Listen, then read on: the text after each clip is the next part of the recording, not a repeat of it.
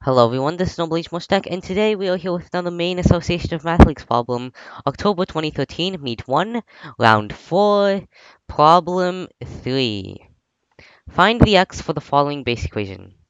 212 base x plus 264 base 2x equals 166 base 3x. So I, I, you see the subscripts. I've signified this by an underscore on my Emacs here because I can't do really different fonts. So I like to use underscores. So this is base 2x. As you can see, this is base x right here. And this is base 3x right here. So what are bases? Well, eh, in like, if you don't know what a base is, then this is Bases are really glossed over in high school mathematics, just like modular arithmetic is. I think it's touched on a little in middle school mathematics. I don't really know. I'm not really familiar with the Common Core, but uh, it's I, I do know that it's glossed over because it's not too important. Because usually we're using base 10. That this is called a decimal number. You know, it's just a regular number. I could put an underscore 10 here to signify it's base 10 if we didn't know, but usually people just assume it's base 10 because that's regular numbers. So what does that mean? Well, for you know the different place values in base 10. You know 3, you know that 2, that signifies 2 times 10, and you know that the hundreds place, that's 1 times 100. Now 1 times 100, 100 is 10 squared, that's important to remember. So that's base 10. So let's say base 2. This is binary, which I also talked about in my uh, last video. So this is a binary number. This is like what computers use sometimes. So what does this mean? Well, this means that we look at each place value from right to left. So this is the ones place. That's all. The rightmost digit is always the ones place. So that's just 1. And then that's a 0. So we don't count zeros because 0 means nothing. So we, we skip over 0. But if we were to count it, this would be 0 times 2. Why? Because it's base 2. It's not base 10. Because here, this is the tens place. Here, this is the twos place. So it's 0 times 2. So as you can see, we have something like 10 squared and then 10, and then like we could put a 1 here, which is 2 to the 0 or 10 to the 0. That's basically how a different bases work, except instead of with, um, instead of with 10, it's with a different number. So like right here, this is binary, so this is with a 2. So let's keep going with this. Um, just for example. So let's say this is the um second most place from the ones digit. So it's 2 squared so the fourth place. So that's 1 times 2 squared.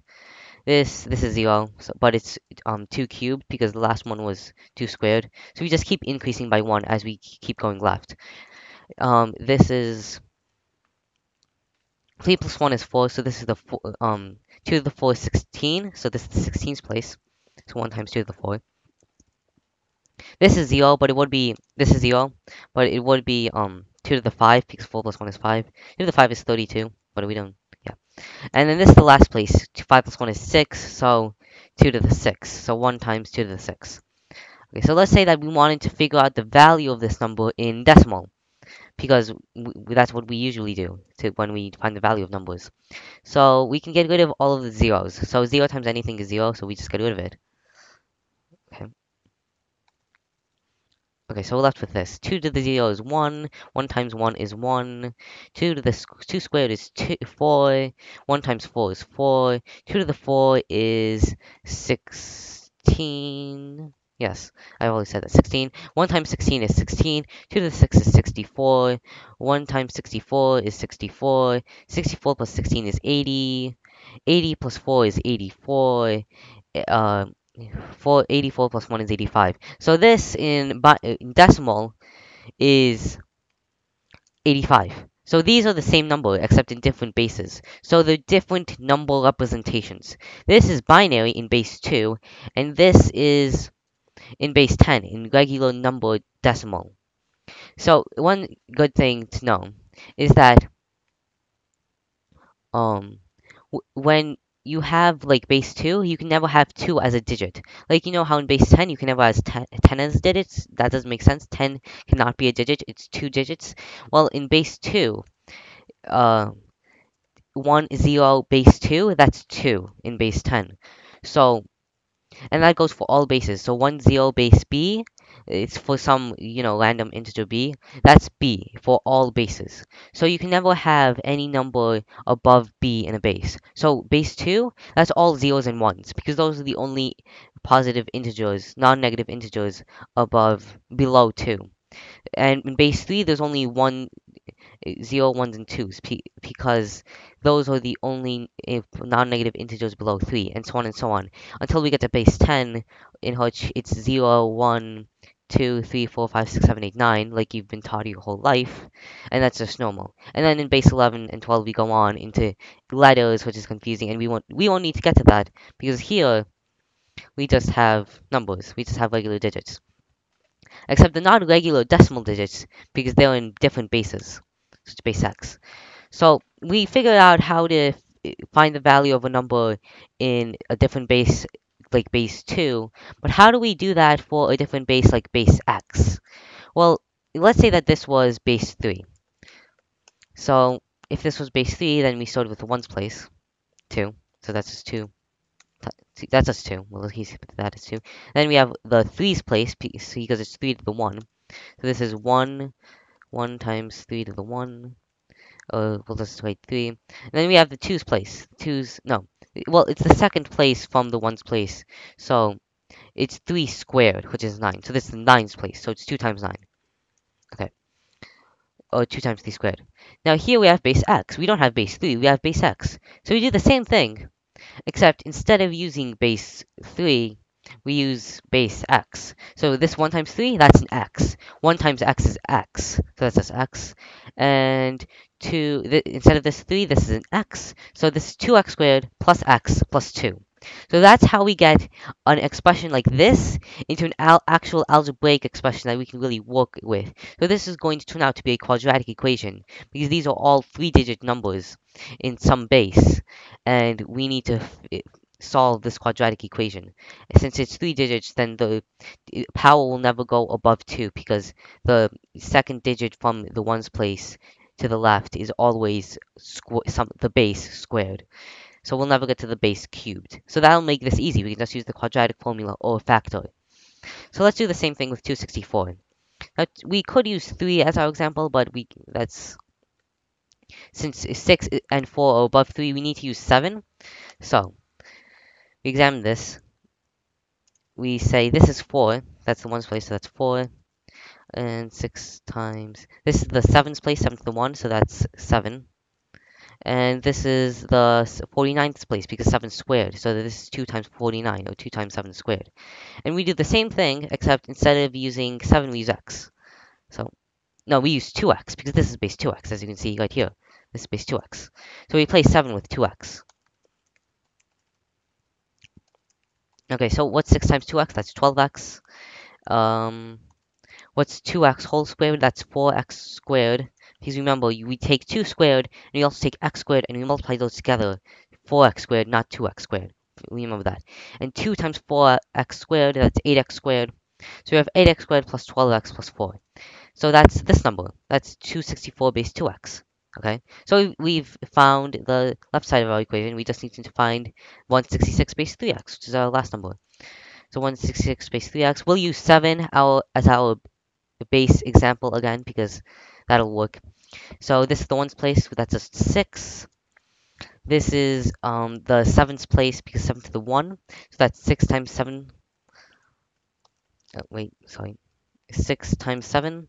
And this is the 49th place, 7 squared. So that's 1 times 7 squared. Or we could just write 7 squared. So we replace 7 now. We replace 7 with 3x because it's base 3x. So 6 times 3x and 3x whole squared. Okay. So what's times what's 6 times 3x? That's just 18x. And what's 3x whole squared? That's 9x squared because we take 3 squared and x squared and multiply them together. Okay. So we've gotten our equation into a regular quadratic equation. Now you see this? You see this? This is the same exact thing as this. We just need to solve x in we just need to solve x in this quadratic equation and then we're done. We, just solve a quadratic equation. So before we do that, we just need to add like terms right here. So what's 2x squared plus 8x squared? That's 10x squared. What's x plus 12x? That's 13x. What's 2 plus 4? That's 6. So we've added those together, and then we bring this down. So, we have this, and yeah. Now we need to, I'm going to subtract this. Um, okay. Okay, so here's what I'm going to do. This, because, uh, um, remember that these two things are equal.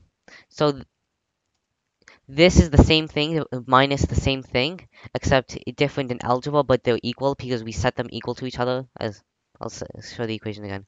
So these two things, these two expressions are equal.